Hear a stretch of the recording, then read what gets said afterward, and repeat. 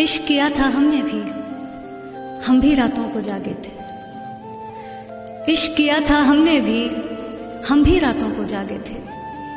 था कोई जिसके पीछे हम नंगे पाँव भागे।